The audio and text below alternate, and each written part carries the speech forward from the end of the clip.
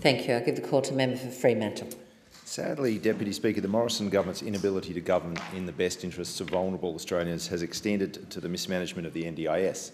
As a constituent said to my office recently, it's as if this government has redesigned the system to proactively lock the most vulnerable out. One of the most heartbreaking local cases for me involves Avril and Earl, the grandparents and guardians of two boys, both of whom have autism, fetal alcohol syndrome, PTSD, and severe behavioural issues. Needless to say, Avril and Earl are undertaking an incredible care responsibility, the nature of which I don't think any of us could imagine. On the advice of their specialist support worker and with considerable clinical evidence, they successfully applied for one of the boys to receive a place in an independent supported living program. Yet after a drawn-out and convoluted process, the NDIS has declined this request with no explanation.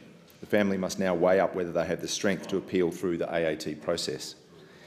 Deputy Speaker, rather than working to strengthen the NDIS, this government has removed the reasonable and necessary test introduced independent assessments with a clear intention of restricting access, made it harder to appeal NDIS decisions and explored other ways to push people off the NDIS and into less suitable mainstream services. Avril and Earl are not alone.